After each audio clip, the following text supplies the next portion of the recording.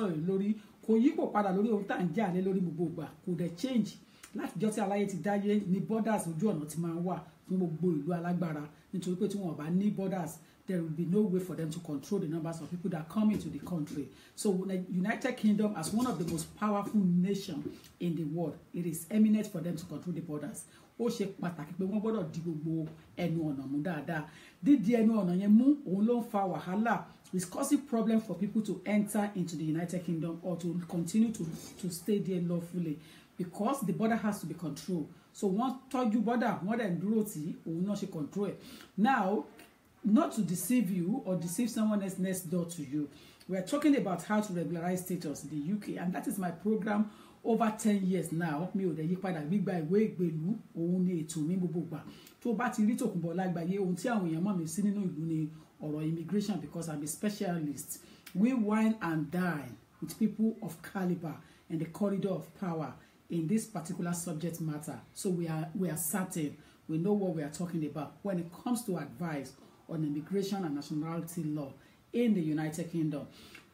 Now, nígbà tá a bá ń sọ̀rọ̀ thank you current situation Diola you know when, when we are talking about about how to regularize your status there are several ways of regularizing status in the United Kingdom and several means of coming into the United Kingdom but a lot of people do not take time to take advice and the advice you don't take at the beginning you end up now making you going into a journey of ọmọ Israel going into a journey of ten years going into a journey of eight years over the past four five days there are some okay let me say that let me accept that I resume work on the fourth of January since fourth of January till today this morning because I've been in the office emergency this morning I have left my matrimonial home since seven thirty or eight o'clock this morning on a Saturday just to go and look at people's mistake now to start with it the starting point will be to talk about ẹ̀yin tẹ́ ń kánjú jọ ọlọ́run lọ tẹ́ máa lọ ṣe premium all of you that usually rush into premium services and, and, and probably want to escape lawyer or escape time Sherry, sometimes you need to understand that delay is sometimes in a way is good if it's properly done. Sometimes when you experience delay in your journey, there is a message that you are being told to or listen see in every delay in people's life. Nothing is by accident. But a lot of people are so much in a hurry and in a haste and failed to understand what God is telling them. I am not preaching sermon. I'm a lawyer. What I'm trying to say here is that most of the people that go to the United Kingdom Border Agency, Secretary of State Department, Home Office, to submit their application on a fast lane. It's not that it's cheap for them. It's not cheaper because they paid extra to submit. So I won't say that they are looking for cheap ways. I'm not going to disrespect them in that aspect. I am going to disrespect them, most especially those who went in, who have been previously granted limited leave, discretionary leave, and now saying that they want to make ace of things. You cannot do things faster than God. Every journey in life is projected. If you do things that is not projected for you, you are going to be to, to regret it. Now, in the past few days, I realized that a lot of people have submitted for premium service now in the history premium service supposed to be answered within two days 48 hours ni premium service now the delay they were trying to run away from and not taking those cases through lawyer to assist them to look at the problem and, and help them they end up still going inside that delay still end up in that in, in that traffic jam now would you would you agree with me that people that have submitted for premium services since september uh, since october november do you believe that they haven't received an answer And the next thing when they will receive an answer to their problem will be to have to answer to question them queries. Ask them to produce document after three months of wait, and they have provided, they have paid for premium, which means that they paid twice or thrice of the normal money. Now, if you look at it carefully, that money they will have utilized it to pay lawyer service and get a solid advice and move on smoothly. My father used to tell me something, ó ní ojú ló ń kán bòjì,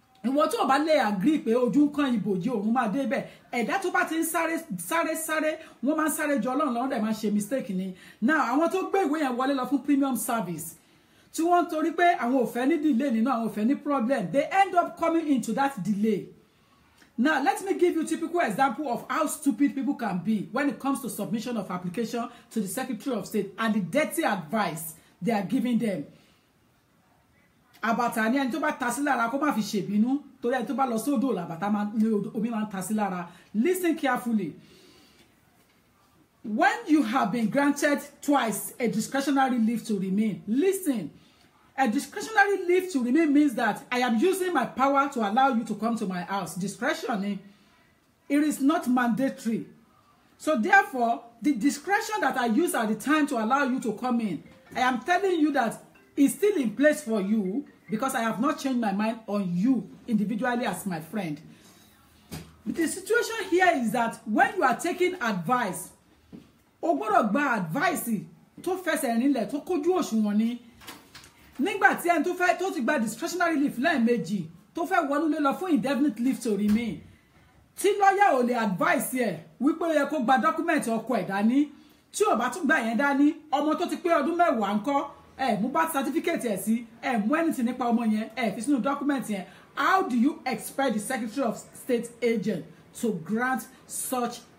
application how do you expect them to grant it and I've been telling people categorically that the way I operate I operate in a manner that it's, it's just like as if I am working for the Secretary of State so that we can get the problem out But I'm working for you so that you will not be refused when you are going to them. So I operate in a way that I sift your problem before putting it forward to them for a grant of status.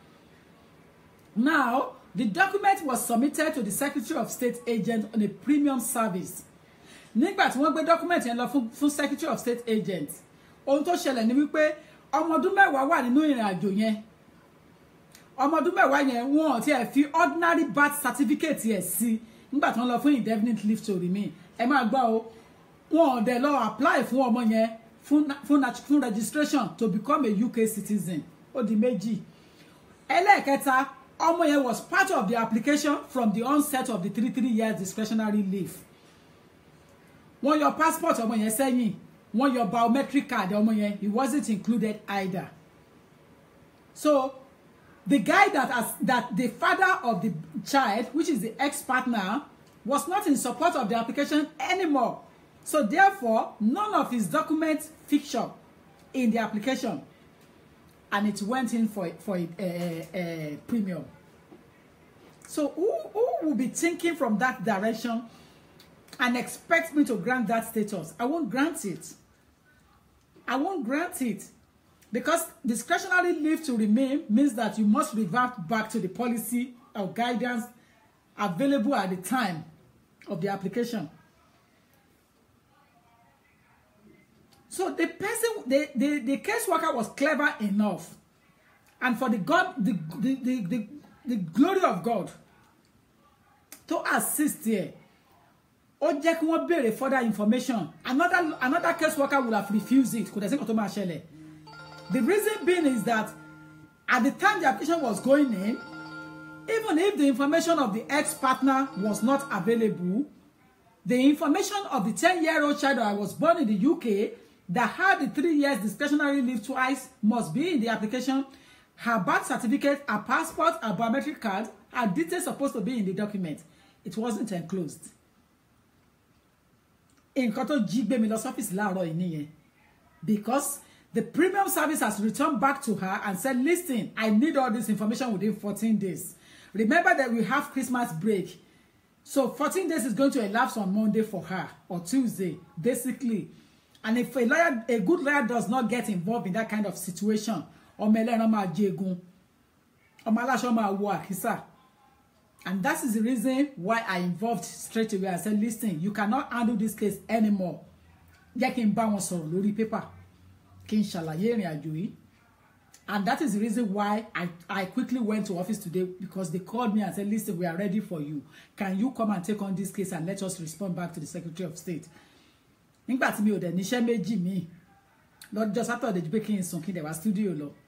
of course i have to go to office on saturday gbà tó ní pọ́rọ̀ owó mi so I, have, I quickly drive out of the house and went in there to go and, to go and meet her getting there The same reason why they are still having that delay wasn't available. But I told them that it's not essential. It's not an essential ingredient.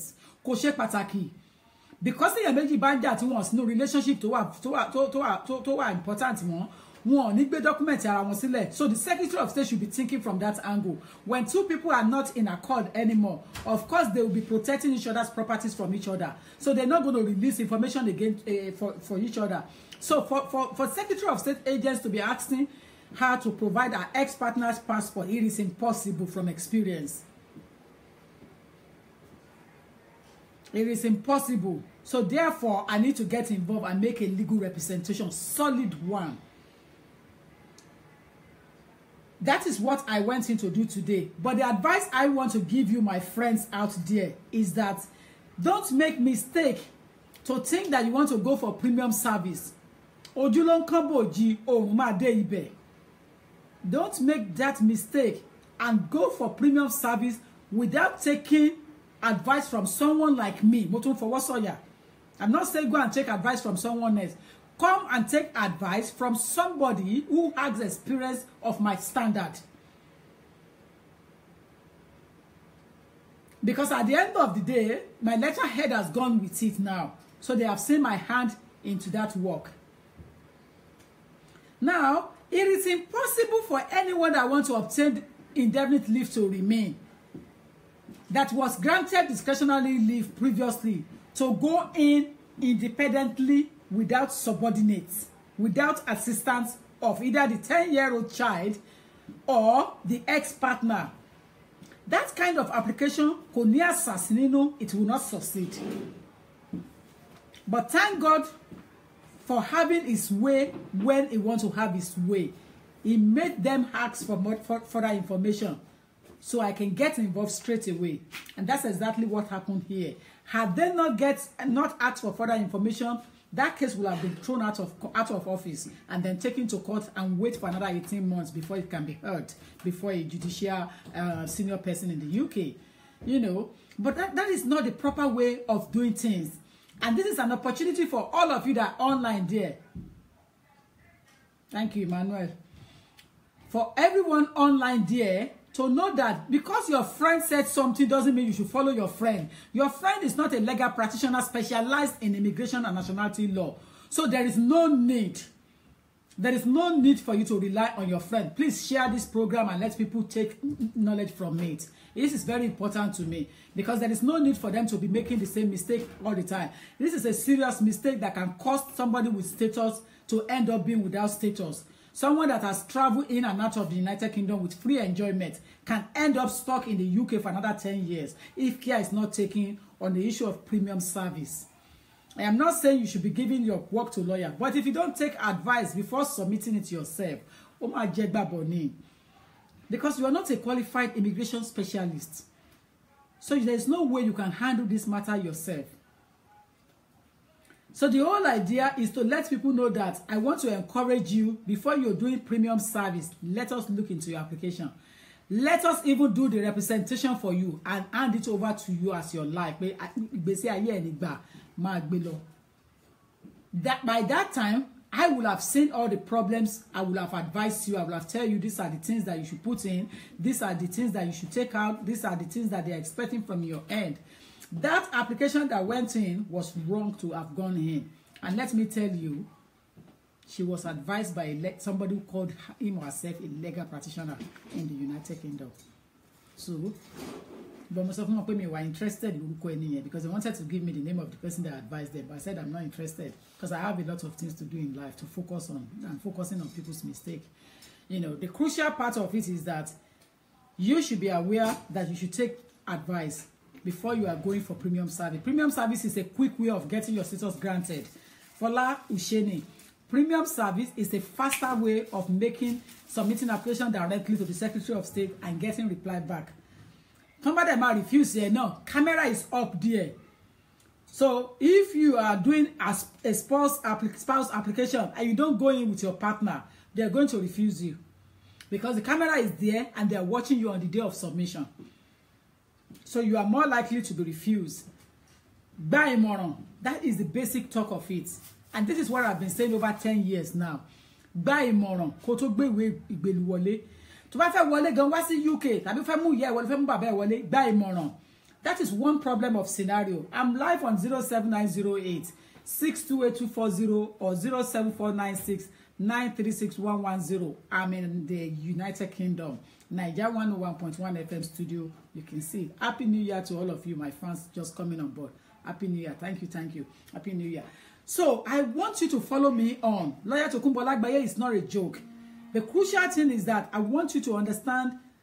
No, you are not late. It's not. We're not far. You know, I want you to understand what is going on in terms of submitting an application to the Secretary of State directly, and that's why I quickly raised that up. Hello. Hello. Good afternoon, sir. Same to you.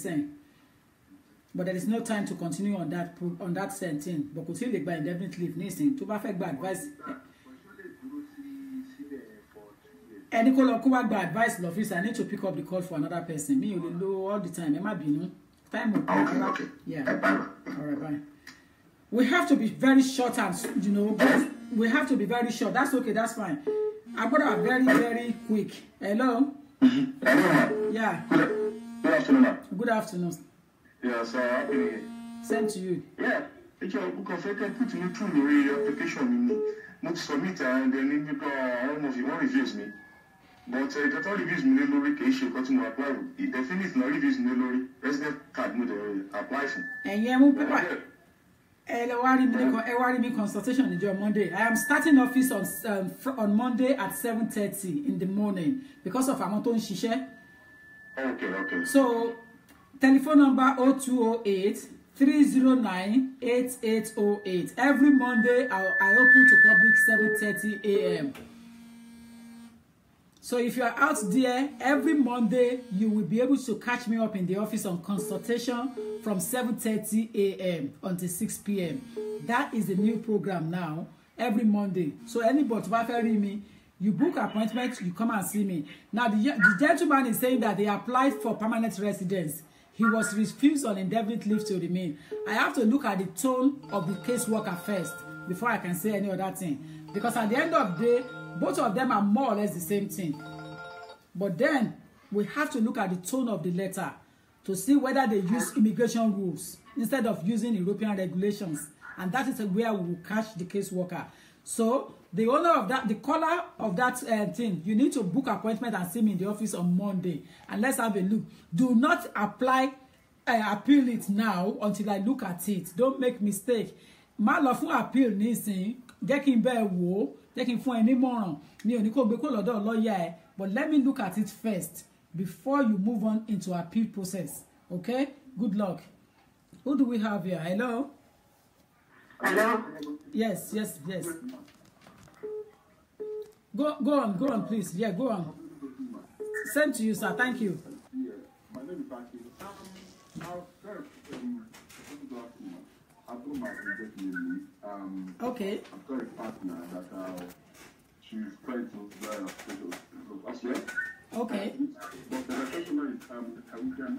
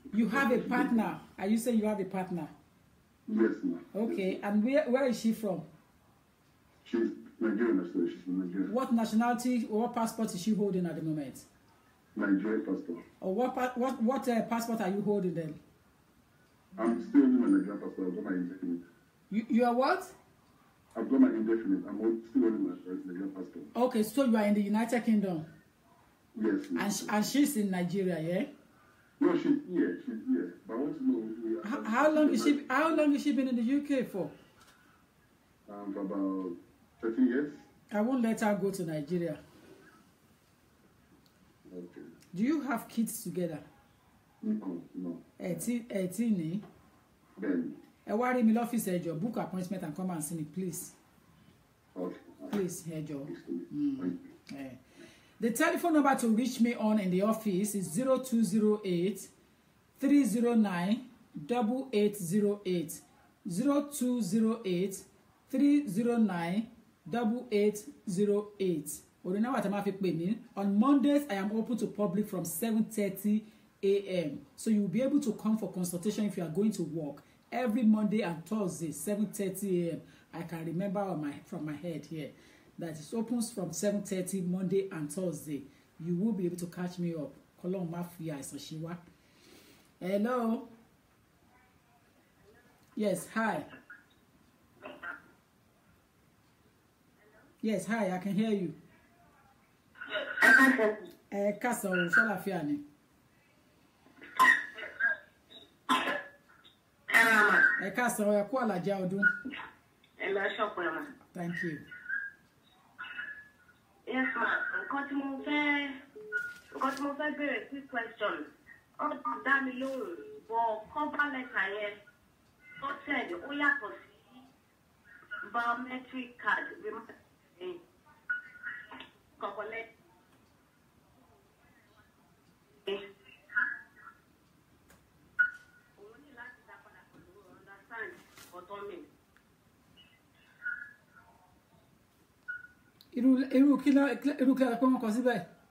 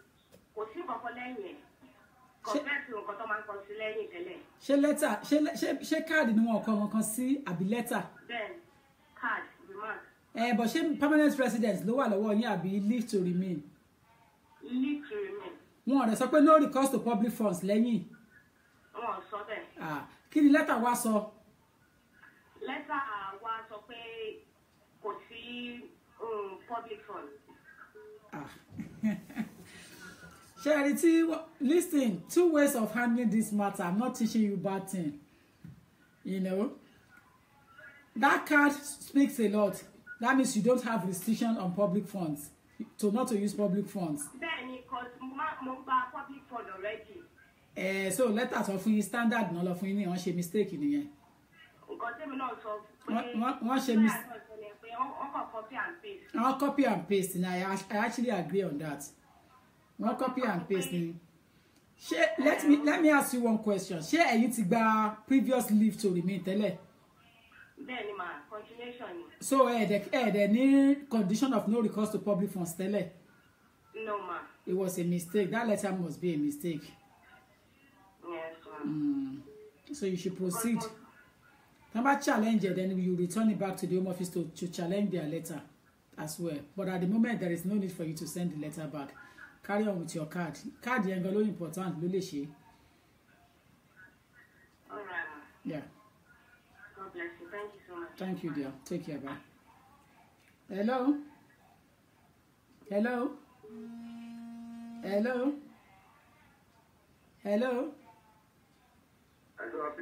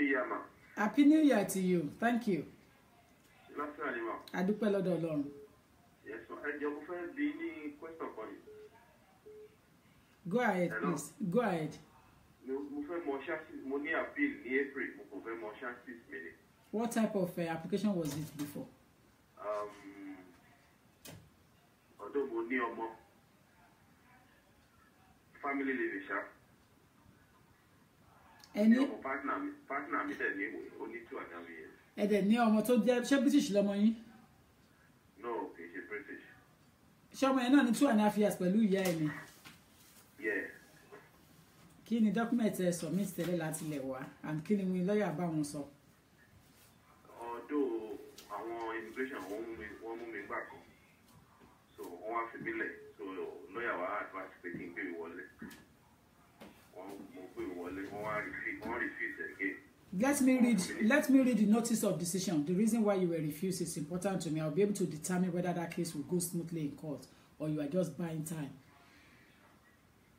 Okay. Yes, if you want that reassurance, I will ask you to bring in the um, notice of decision. Ẹ jẹ́ kí n wo nǹkan against yín. Then I'll be able to advise you what to tell your lawyer to prepare for before court date. Okay.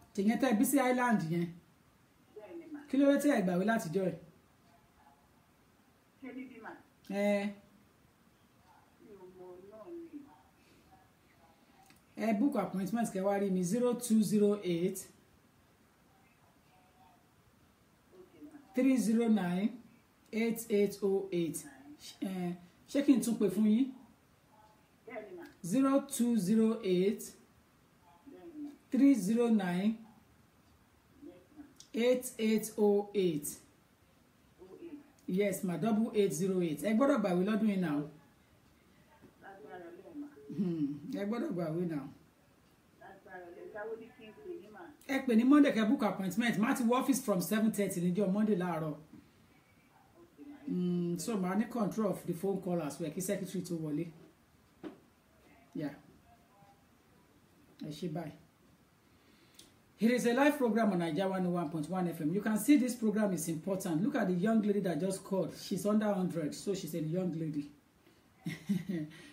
She, she, she has a child that was born in, in Ireland 12 years ago. Now, the child cannot obtain Irish passport because they are now in the United Kingdom. And now in the United Kingdom, they have not applied to even get paper láti gbà yẹn because mo mọ̀ nǹkan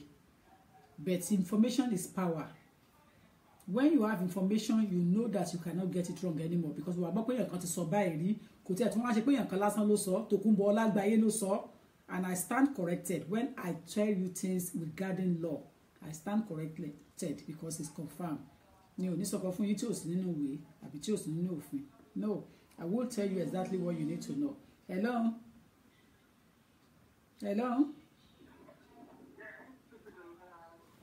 You are speaking directly with me. Hi.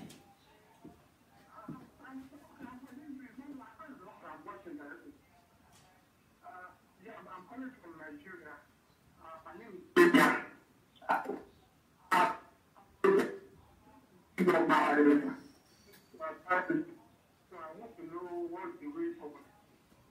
want to do what?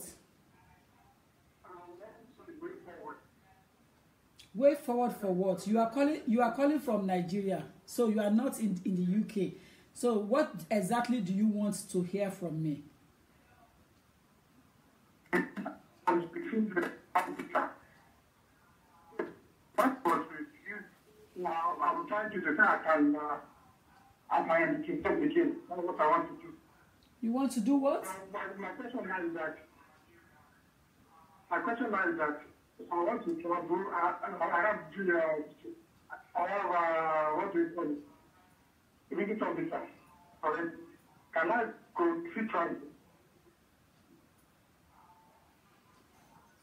I don't think any of us, either myself or anyone online, can hear you properly.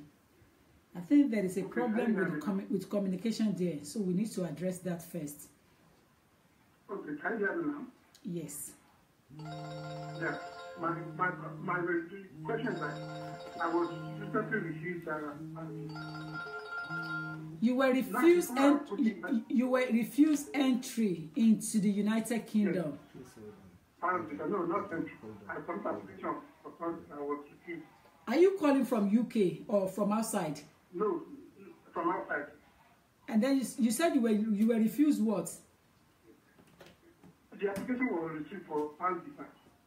Yeah, that is entry. If you are outside, yeah. it means you are you being refused to enter into the United Kingdom. Yes. And if you have spouse visa, uh, if you made spouse visa application, and you were refused. With what I always said on my Facebook uh, blog, what you will need to do is to request for my email and you will scan me. You will scan me, I will read it, but I'm not going to advise you until you pay consultation fee into the account. You have come to me in Nigeria. No, in the UK. Were you in the United Kingdom before you went to Nigeria? Yes uh, different matter nìyẹn o if you are being refused and you in Nigeria now and no it's a different matter entirely so what you need to do you have to find a way to scam me oh my God do you have right of appeal yes. you do have right of appeal so good news mm. now you need to uh-huh, okay mo ń gbọ́. my main question is that ṣé o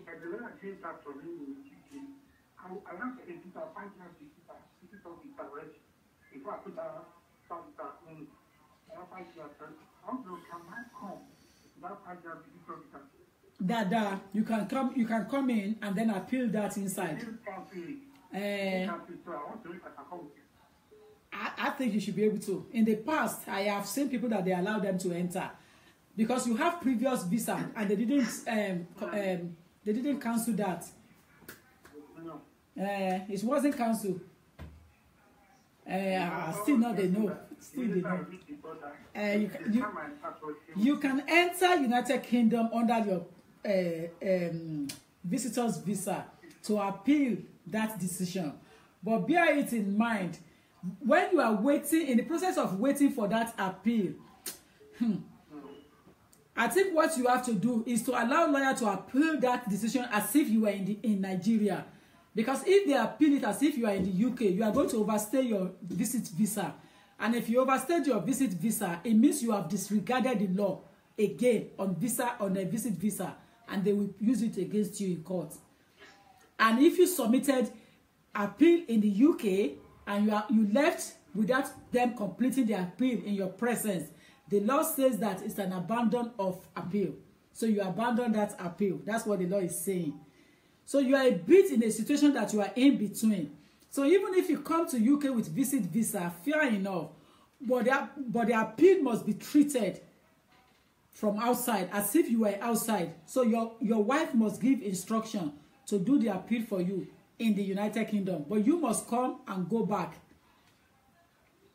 So the appeal will have to attend in, the, in your absence. So your, your wife will attend will attend it in your absence you cannot be there because appeal is not fast anymore and if you are going to be there you are going to be out of six months visa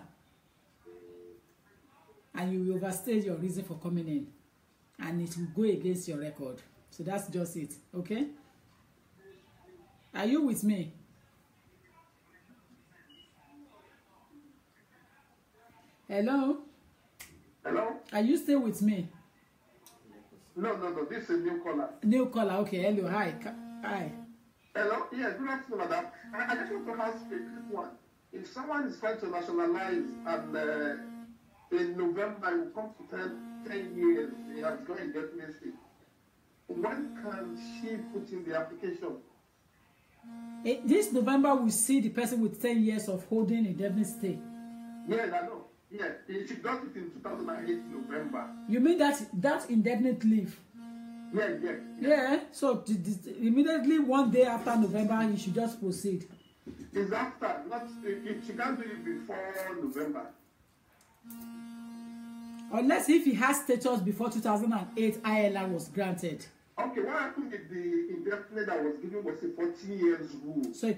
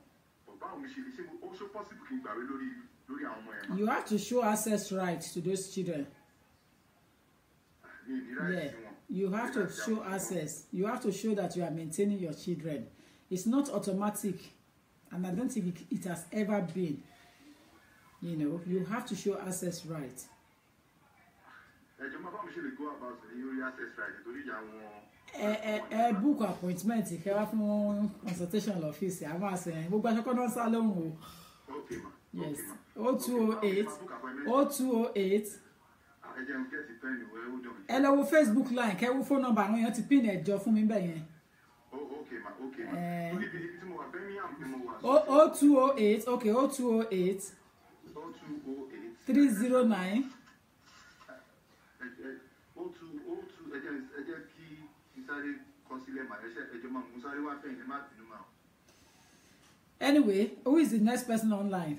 We are talking about how to regularize your status in the United Kingdom. For anyone that wants to book appointment to see me, oh, oh, we are on 0208 309 309 8808.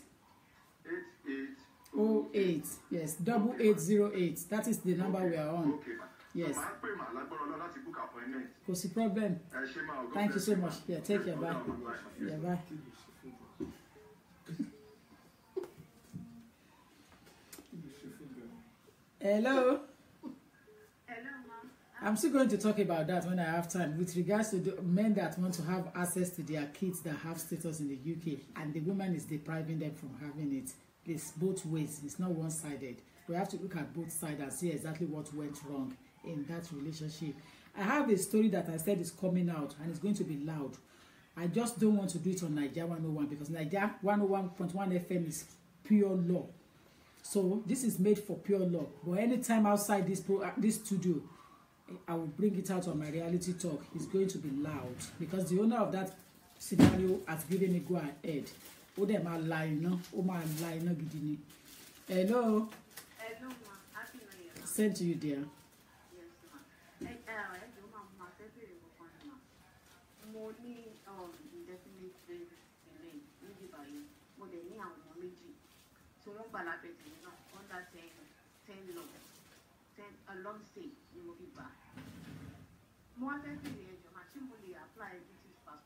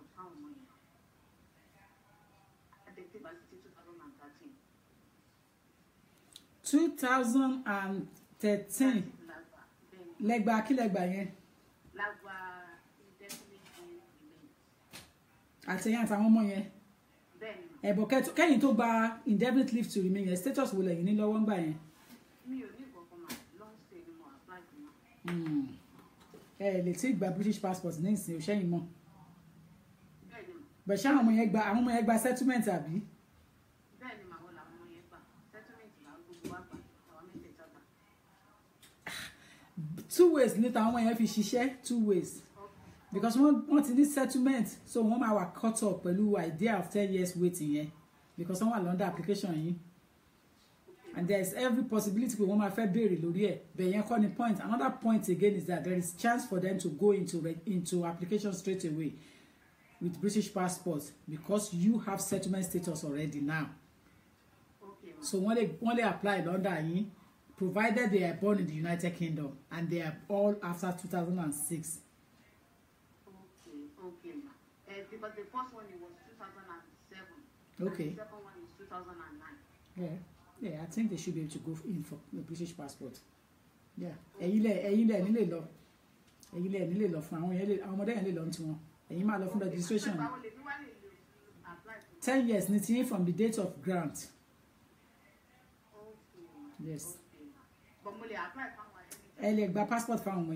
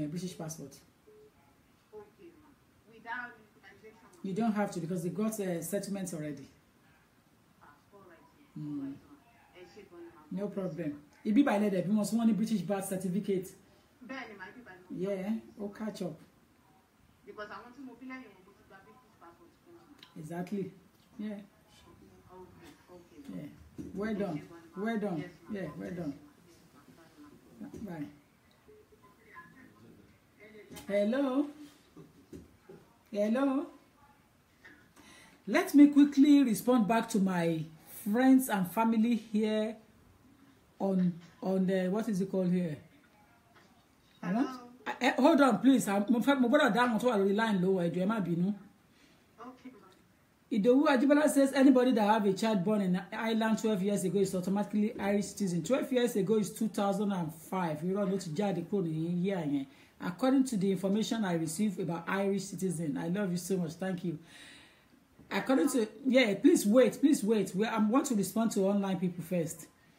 According to information I have at hand, automatic con 2005 anymore, and 12 years ago was 2006 now.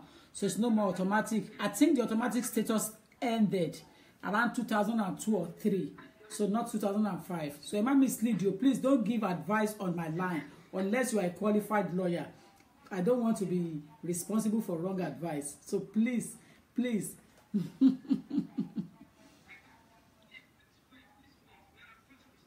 okay, whose question again did I?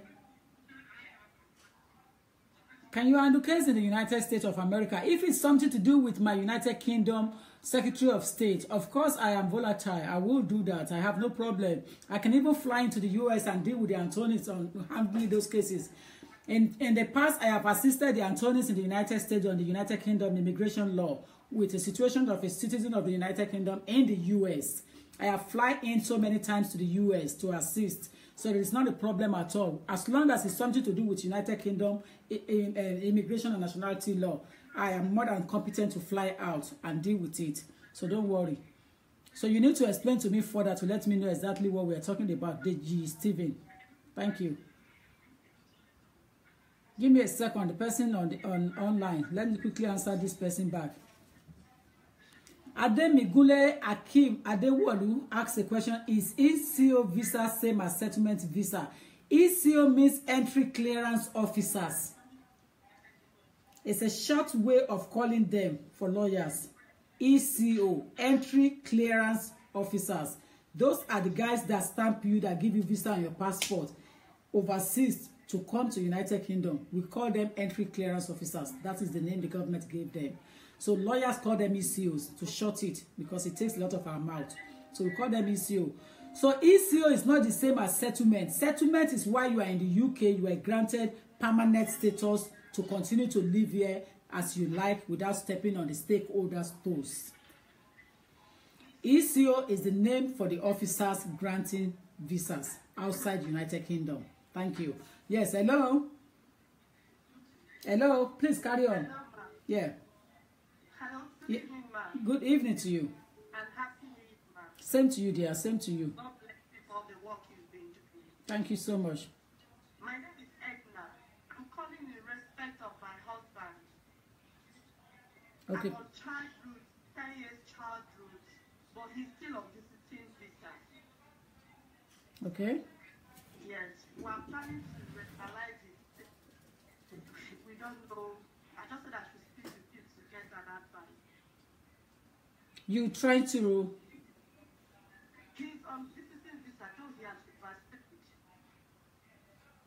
And how long has he been in the UK for?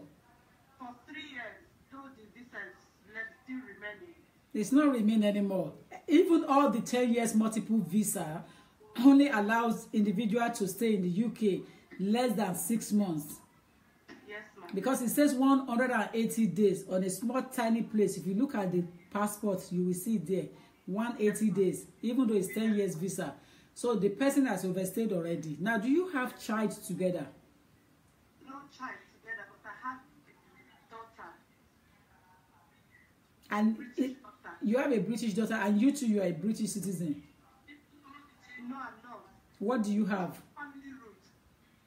so you're on two and a half years as well yes and he wants to apply under you guys.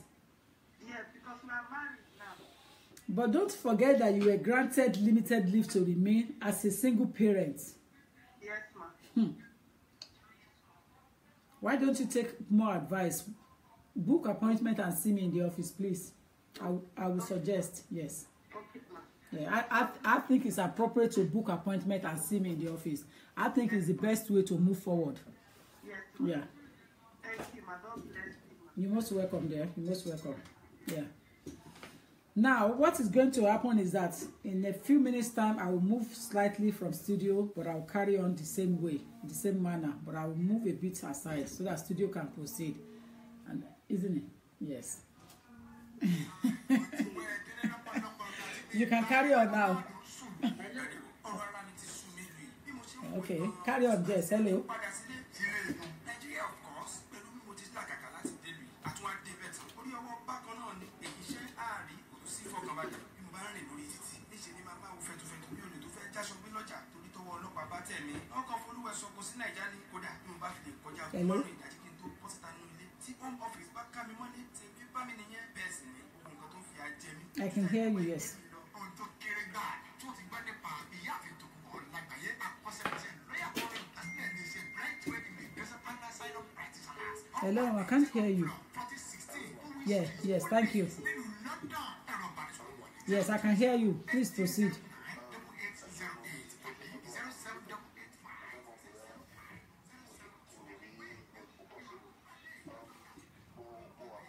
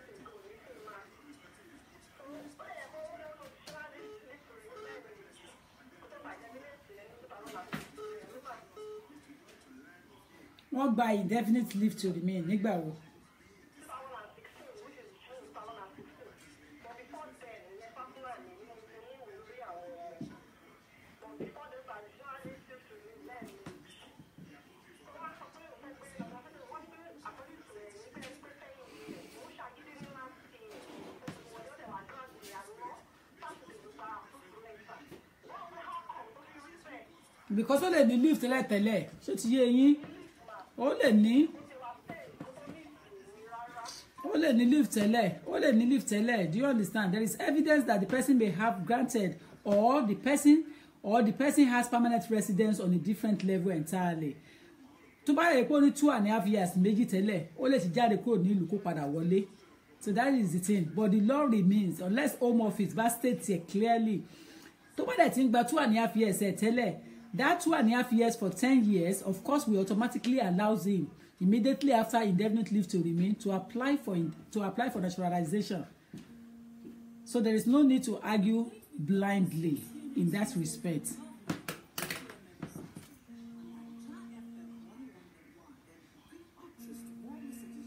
The question somebody is asking here is that is marriage by proxy to EU citizens still working ma?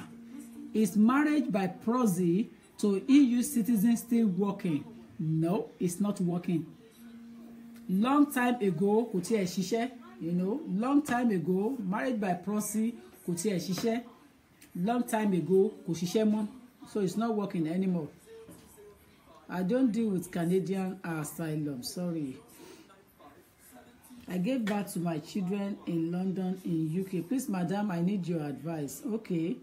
If you need my advice, please watch out for the phone number online. The numbers are correct as it's written. 0208 309 8808 0208 309 8808. The numbers are correct as it is written. And then the mobile number is 07908 628 240. Of course, the numbers are correct.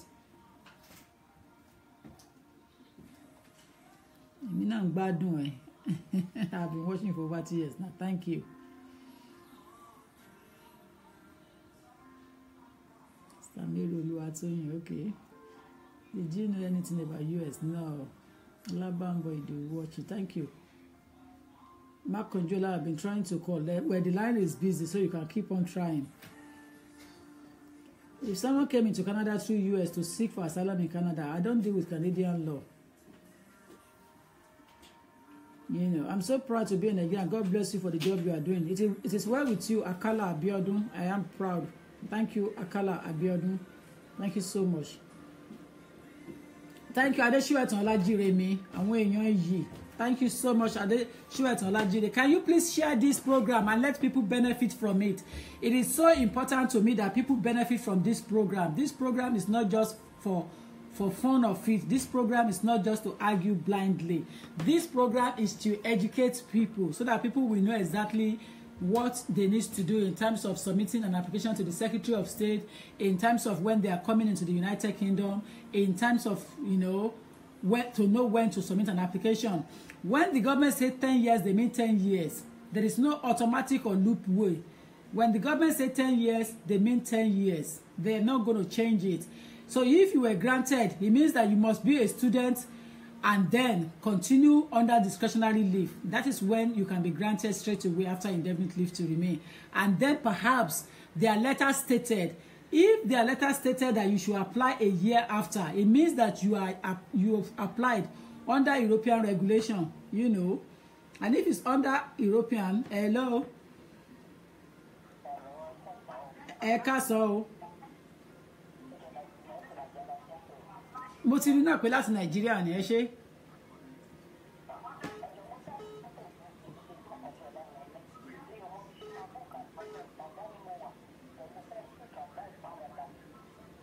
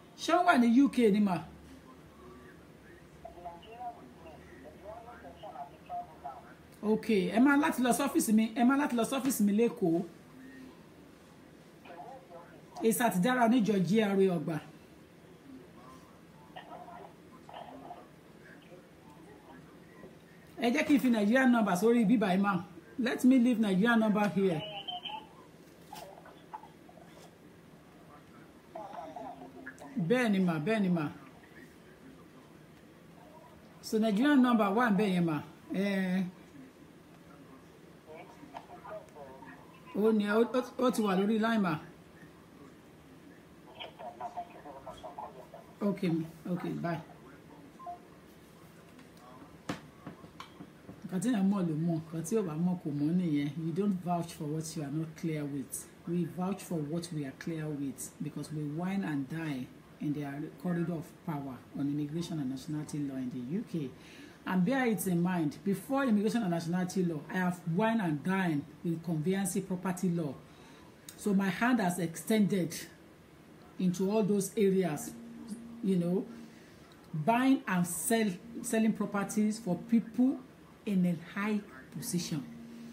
I have represented a lot of people to buy and sell properties in the UK as a conveyancing property lawyer in the United Kingdom. I have dealt with some of the eligible Arabs in the UK. Some of the properties at Blue Water and uh, eh, Base Water, we have assisted them to purchase. We have helped to buy some of the properties at Thamesmead, and we have represented banks when they were Abbey National, Santander now, we have assisted them. Bank of Scotland, part of Halifax, we have helped them. Mortgage Express, Northern Rocks, we have wine and dine with bankers in this country. We have purchased and sell properties for people that have coins in the bank.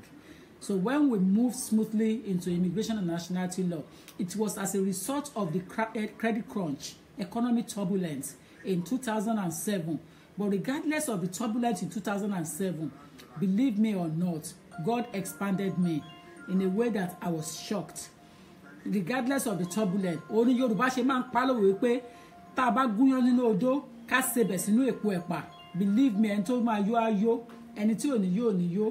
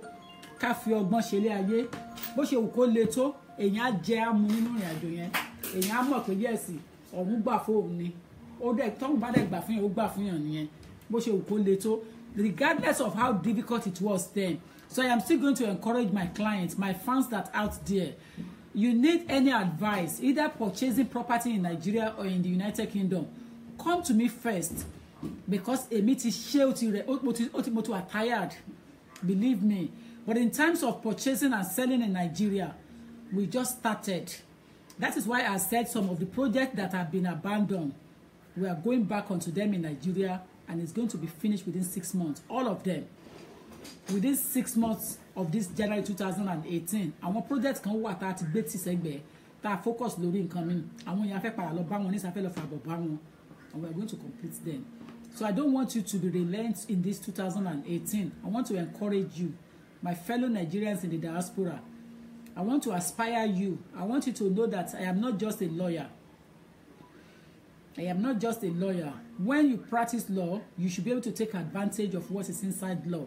What I grab as part of the advantage of my advocacy skills is property,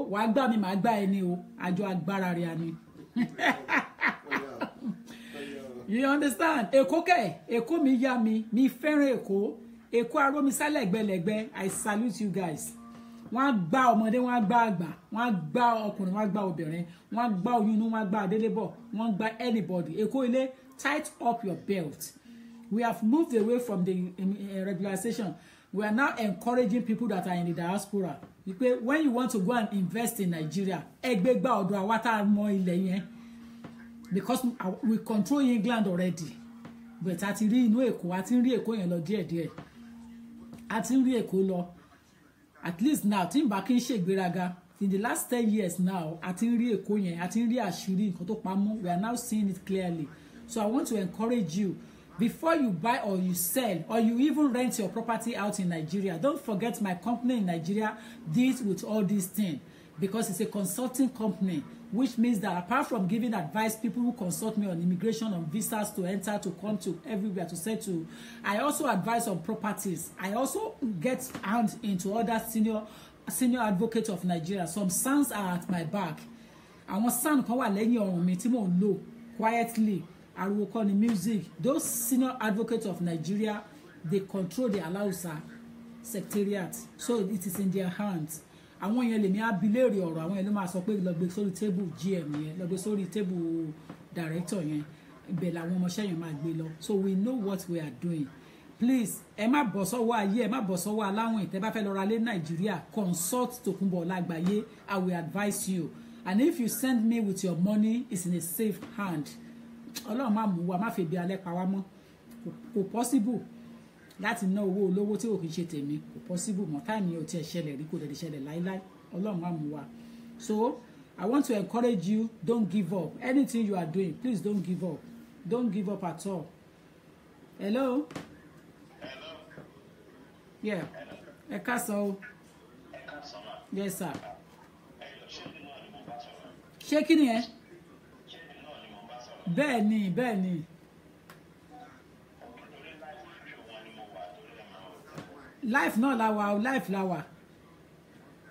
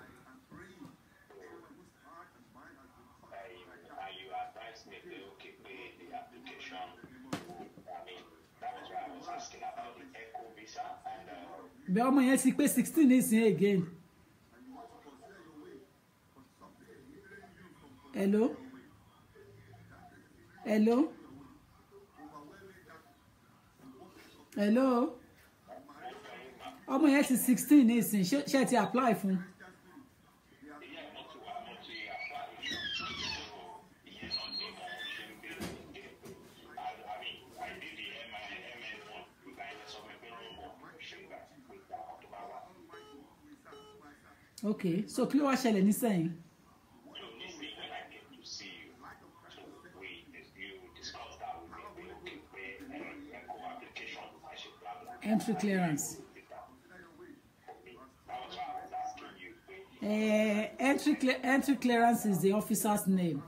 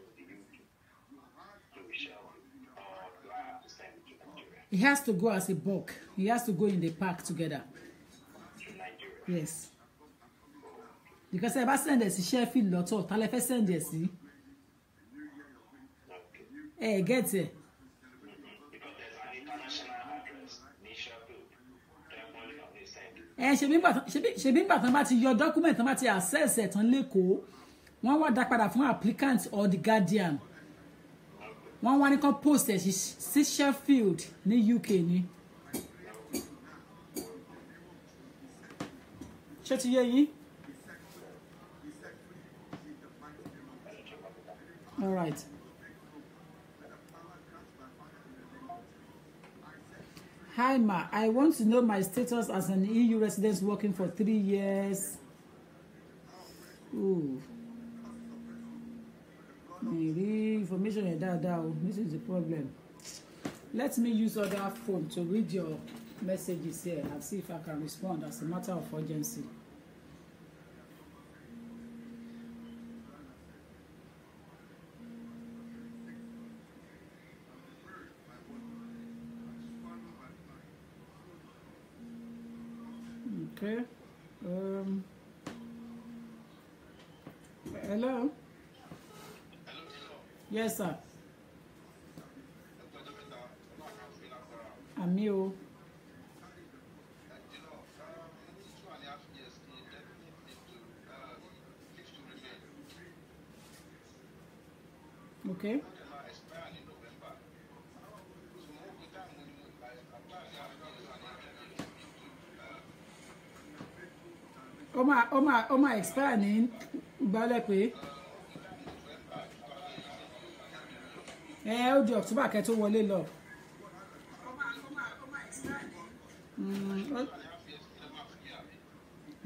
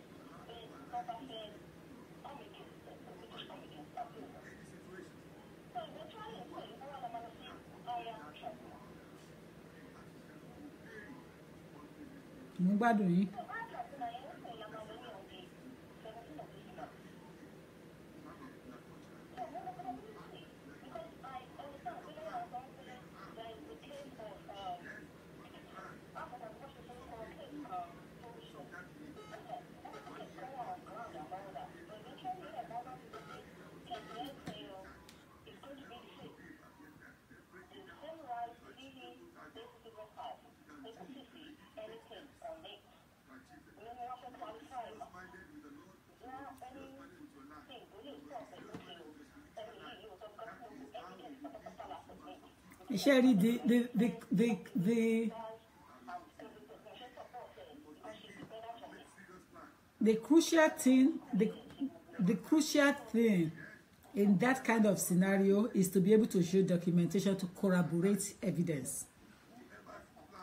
Sherry, document about what? Who convince the judge enough? Don't forget, judge is independent. So they are not partial, they are impartial. So you will need to you and you and your advocate will need to convince them beyond reasonable doubt.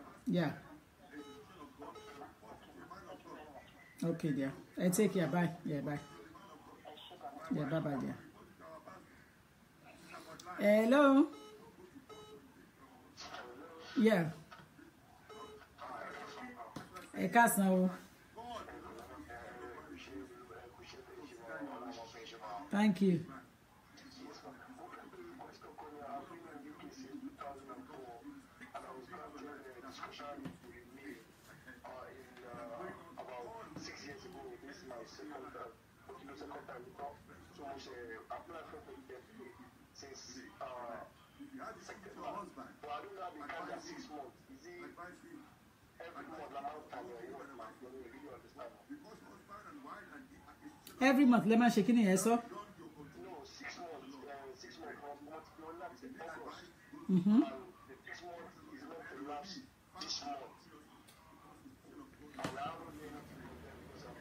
bọ ṣẹyìn ti ṣẹyìn ti ṣe biometric ẹ tẹ bá ti ṣe biometric that is fine Sherry the delay that is there now has nothing to do with lawyer it's just general from the home office itself so I will advise that you should just carry on wait waiting but I will advise that you seek your lawyer's um, advice and send have they written to the home office to find out to ask for an update which is crucial after six months of submission